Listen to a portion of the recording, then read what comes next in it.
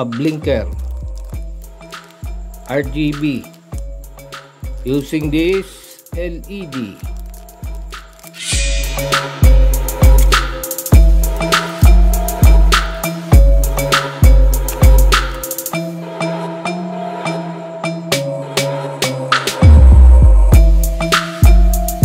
this is uh, slow flash LED you can see here we have the anode and the cathode. Cathode cathode is the short uh, leg anode is the long leg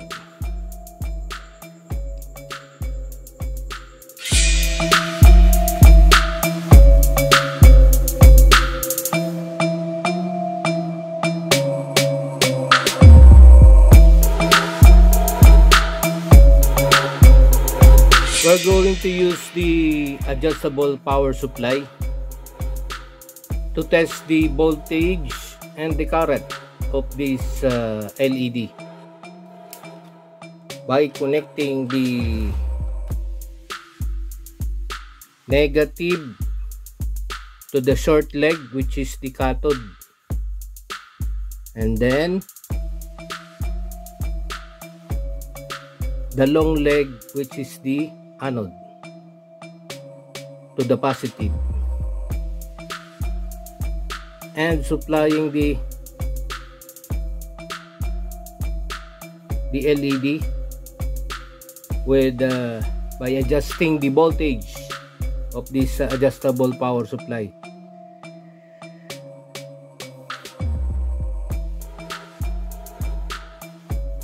Let us supply the LED with uh, this uh, by using this uh, supply.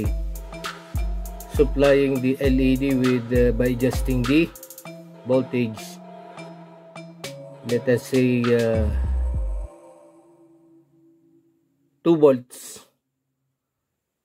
So it starts uh, changing its color. Okay? But the voltage is not enough we need uh, at least a current of uh, 20 milliampere.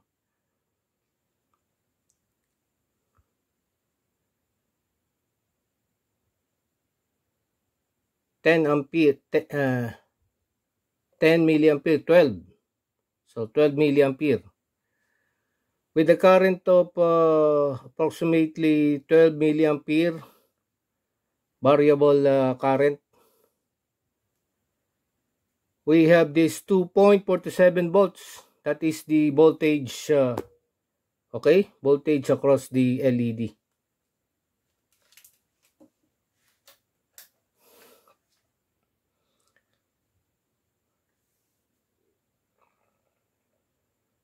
at green color we don't have the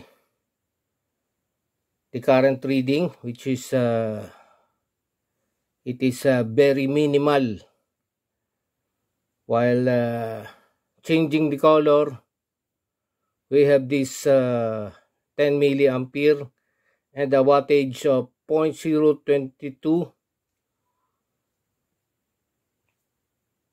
milliwatt. So this type of LED is uh, a self-oscillating LED self-oscillating it means uh, there is an uh, built-in oscillator inside the LED. We do not need any driver to make the LED to blink or uh, should I say uh, to work because it is self-oscillating LED. It is capable of changing color, changing the blinking pattern. So it is uh, automatic uh, LED blinker and uh, this is RGB LED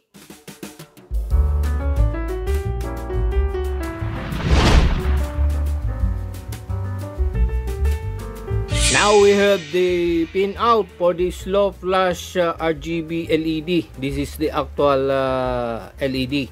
The long leg is the anode. anode.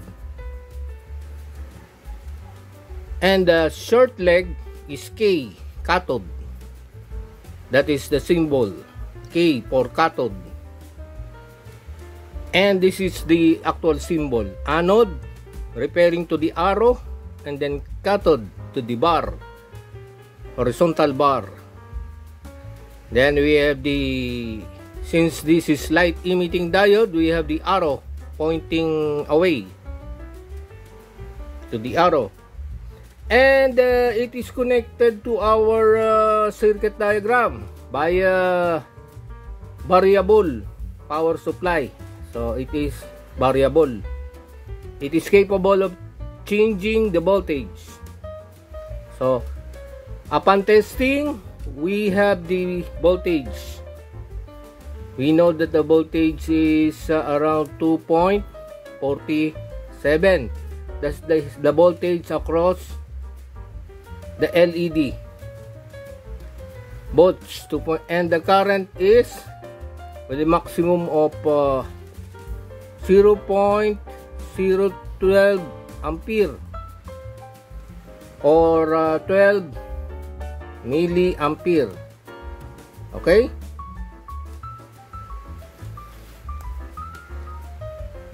So upon varying the voltage we may know we now know that the voltage necessary to turn on this LED is 2.47 volts. With a current with a current of uh, 0.012 ampere. So the current flows from a conventional current flow positive of the voltage then positive of or the anode to draw the anode cathode So the current flows from anode to cathode then back to the negative or to the ground. That is the standard or conventional current flow. Voltage 2.47 volts and a maximum current of 12 milliampere.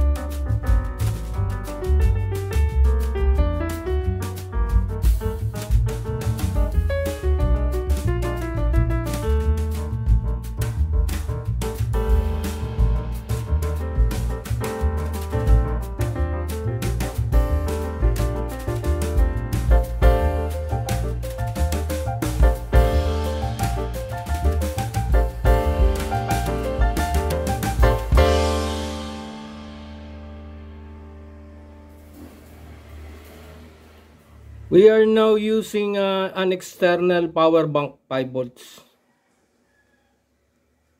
And we have this module. So, we use uh, an external resistor because our supply is 5 volts. And this is our, this is now our uh, module.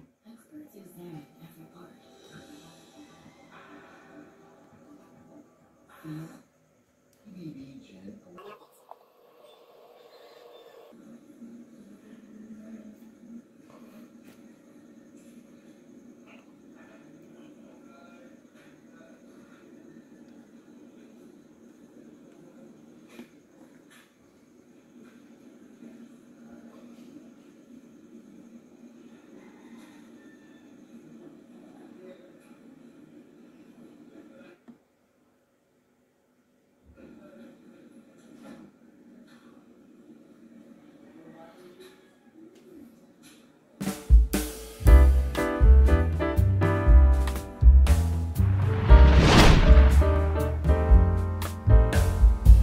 So in figure 4, we have the actual wiring of our module, the LED, the resistor and the pin header. So if we're going to use the resistor with resistor, we are going to connect the positive to S1 then to the negative. Without resistor, just connect this uh, left side S2 and the negative. With resistor S1, the positive side of the supply and negative. Without resistor S2, the positive one and then the negative so this is a dual uh, purpose uh, module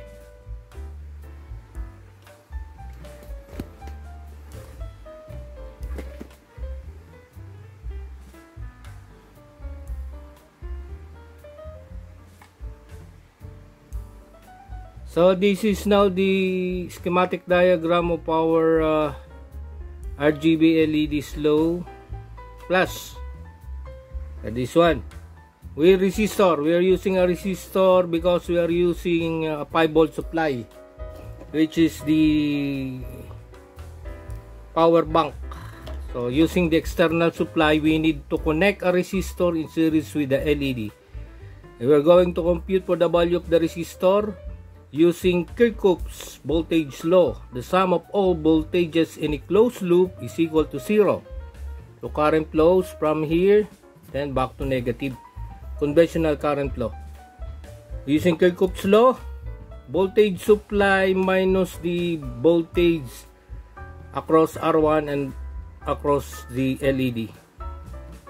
Voltage supply minus voltage uh, of the load, of the two loads. Since we know the voltage supply 5 volts, voltage across R1, and then the voltage across uh, D1 is 2.47 from our uh, power supply testing. And then for the computation, we have the voltage across R1, uh, transposition to the right. Then we have 2.53, 2.53 volts that is the voltage across the resistor. So if this is 2.47 and then 2.53 the sum of the two voltages of the resistor and the LED is equal to the supply. So voltage of the LED and the voltage of the resistor. Voltage in series is to be divided. So the voltage supply is divided into 2 become voltage of the resistor and the voltage of the LED, the RGB. Using Ohm's law to find the value of a resistor, Ohm's law, voltage is equal to current times resistance. We know the voltage across R1 to know the value of R1. 2.53 volts from the computed value. Then current at R1, since the current here is constant, current in series is constant. The current at the R1 is equal to the current that flows into the LED. And then R1 by uh, transposition R1 now is equal to 210.83 ohms. We need a resistor value of 210.83 ohms. But we don't have the available uh, resistor, commercial value. So instead, I'm using 470 ohms resistor. So now the value uh, R1 is 470 ohms. We have now this uh, module with 470 ohms resistor. Uh, you can use uh, a resistor 200 10 and above. But uh, do not use less than 210 that is the the use of the computation of uh, the resistor in the circuit